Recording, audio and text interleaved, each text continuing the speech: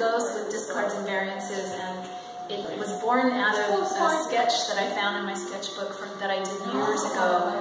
And I've been trying to figure out what to add to my family stories because it's so it could be so depressing, and I wanted to bring in some hope and light. And I stumbled on this sketch, and it was called "I Wish Umbrellas Could Protect Our Women and Children." So I it felt right, so I ran with it and created this this painting and even brought in these little umbrellas.